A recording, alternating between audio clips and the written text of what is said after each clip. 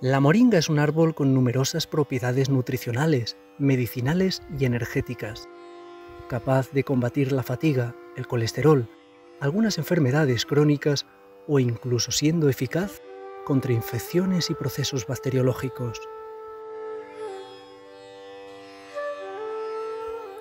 Por si fuera poco, este árbol maravilloso tiene gran cantidad de proteínas, vitaminas y minerales lo cual, según los expertos, podría servir para paliar el hambre que inexplicablemente sufren todavía muchos seres humanos de los países llamados en desarrollo. Aunque siendo sinceros, sabemos que no ha sido posible por los muchos intereses que prefiriendo mantener hundidos a pueblos enteros, han impedido la convivencia pacífica de las personas que habitamos este hermoso planeta. Pero dejando esto a un lado, podemos decir que la moringa es un árbol de unos 5 a 12 metros de alto, cuyas hojas de color verde, muy bonitas, están todas agrupadas en diversos foliolos ovalados. Las flores, muy llamativas, tienen unos preciosos estambres amarillos, así como un bello color blanco.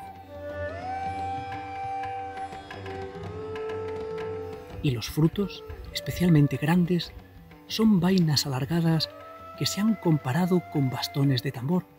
De ahí su nombre, Drumstick 3 o palo de tambor.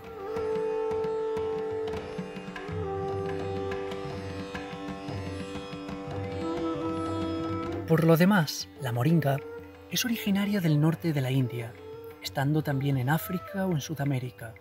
De ella se aprovecha todo, los frutos, la corteza, las flores e incluso la madera.